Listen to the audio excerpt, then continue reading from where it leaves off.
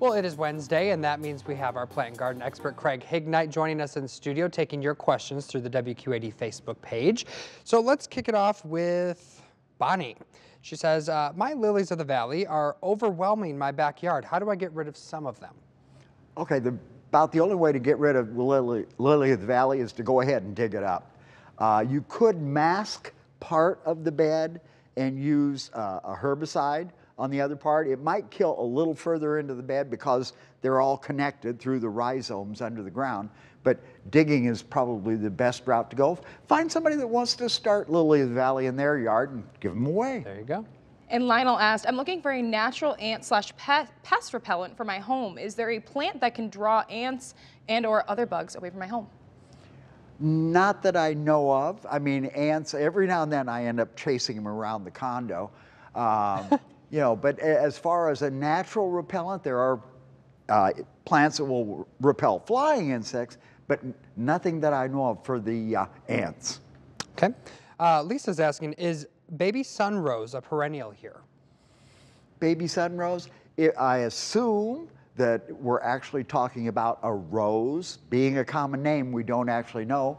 Maybe uh, you might uh, look it up on the internet but uh, if it's a rose, most of them are uh, hardy in this area if you treat them properly and make sure that you mound them up during the winter. And Becky asks, where can I safely move my houseplants outside for the summer? I'd like to, I'd like to see temperatures consistently above 50, 55 degrees, and that's, and that's pushing it a little bit. Remember that when we take our plants out, they've been in the house all winter, they will sunburn. Um, you know, they aren't used to that bright sun, start them in the shade, and the ones that can take it, slowly move them out into the sun. Okay. Uh, Jeannie is asking, how effective are Miracle-Gro sticks in your house plants? Should the plant stem be moist at all times? And how long do they usually last?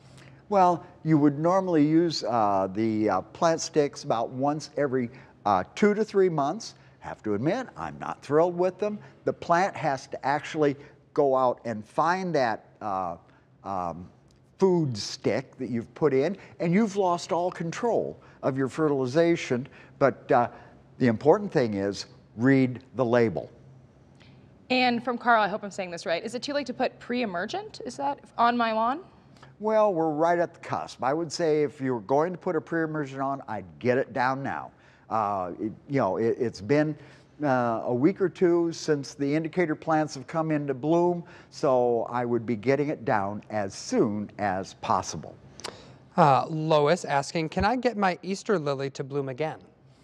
Easter lilies, when they're planted out in the garden, you leave the stem intact, you plant it about four inches deeper than it is in the pot right now, and quite often they will re rebloom again later this summer.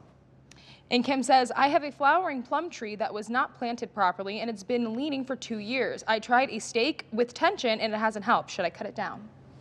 No, if it's only been in the ground for two years, you could go ahead and literally lift the tree. You're going to put it through damage, just like the tree was dug up in a nursery, and straighten it up. Um, and it, it, no use cutting it down. Put a little physical effort into it, lift it, and reorient it.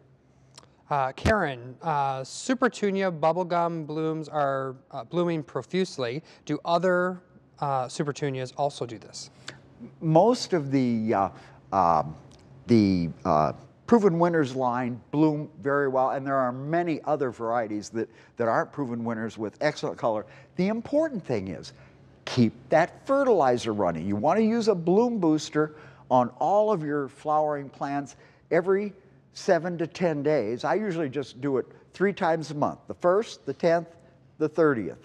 And go ahead and, uh, you know, if it's raining, you go out and fertilize anyway. Do not miss the fertilization on these plants.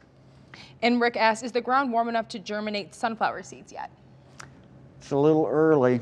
Uh, I'm sure things are warming up uh, very quickly according to the, the way this weekend's looking. I'd wait until about Mother's Day to put them in the ground just to hedge your bet. Perfect. Well, we are going to get more questions answered after this short break, but if you have another question, get it, go to the WQAD Facebook page, put your questions in the comment section. We'll be right back.